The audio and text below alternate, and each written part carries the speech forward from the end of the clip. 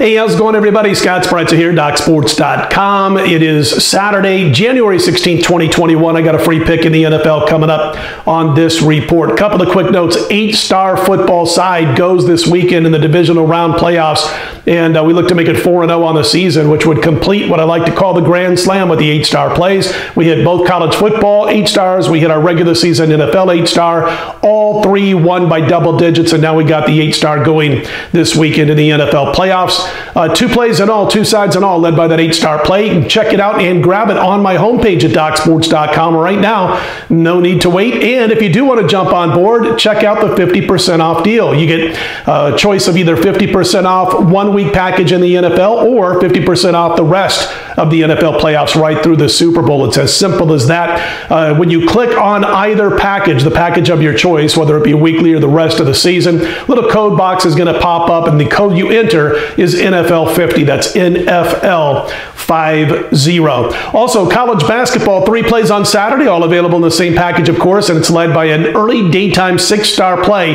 Cashed again last night, five star winner with Wisconsin. Uh, it's been a tremendous college basketball season since day one, and in fact, going all the way back to day one, my plays rated five stars and higher have uh, hit 68% against the spread and have made over $4,500 for those wagering just $100 per unit. Again, six star daytime release leads the 3 0 college basketball package for Saturday slate. So check that out. I've also got NBA, and it's the return of UFC. They're in Abu Dhabi. It's an afternoon card, and I do have a four star play in afternoon uh, UFC action. So a lot going on for me on Saturday. The star of the show, of course, is the NFL divisional round with that eight star play. Let's put it in the win column. A real quick update on the betting report before we jump into the free play. Uh, Packers hosting the Rams, of course, and the Packers mostly laying six and a half, couple of seven still out there.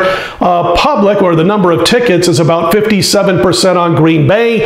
Uh, the Sharps about 56% of the money also on the Green Bay Packers. Of course, there's going to be a lot of teaser money on Green Bay adding up to that. Baltimore and Buffalo, the Saturday evening game. The Bills who are laying two and a half are getting about 55% of the tickets. However, the money or the sharps on Baltimore to the same tune of about 55%. So just the opposite. Public on the Bills, Ravens uh, are getting the sharp money. And we'll update the Sunday games on Sunday morning's video. But just to let you know, with the Browns and KC, KC laying about 10. Uh, the Browns getting the public action 53%. The sharper money so far this week, all sharp money combined, has the Browns getting about 58% of the money. And then the late game and last game of the weekend, Tampa Bay and New Orleans, uh, the tickets about 53% on Tampa Bay, the public, and about 57% of the money also on Tampa Bay. We'll update those Sunday games for you with Sunday morning's video. But you heard what we got going. Star of the show this weekend is the eight star in the NFL. A lot going on for me this weekend starting on Saturday. You can go grab again that NFL package as we speak. Let's get to our free play in the NFL. And by the way, you can check out, I've got a college basketball video also posted for Saturday with the free play. Uh, we're going to look at the Saturday night game between the Ravens and the Bills and recommend a play on the over. And I'm going to punch up on my screen here about 16 books and we'll get you exactly where that total is as I speak. Uh, for the most part, 49 and a half. Couple of 49s out there, but it's going to be tough to find. 49 and a half is likely uh, the total, and we do recommend a play, have a free pick on the over between the Ravens and Bills. Originally, they were talking about uh, strong winds, 17, 18 sustained mile per hour winds, gust of up to 30 miles per hour, but the latest forecast is saying that there's going to be a minimal amount of winds in that 10 to 15 mile per hour range for the most part. So listen, you've already got a running game that plays like a passing game when it comes to the Baltimore Ravens anyway. So it's not like they were going to have to throw the football a lot in this game. They should be able to move the ball in decent chunks on the ground against that Buffalo run defense, which has left a lot to be desired all year. Gave up a buck 63 on the ground last week in their uh, wild card game on 5.4 yards per carry. And then, of course, you got Lamar, who can escape any pass rush and uh, call his own number 15 times a game if need be. On the flip side, another quarterback who, who, can call, who can call his own number if they need to in Josh Allen. Also, he can escape any trouble, create more time for his receivers to get open.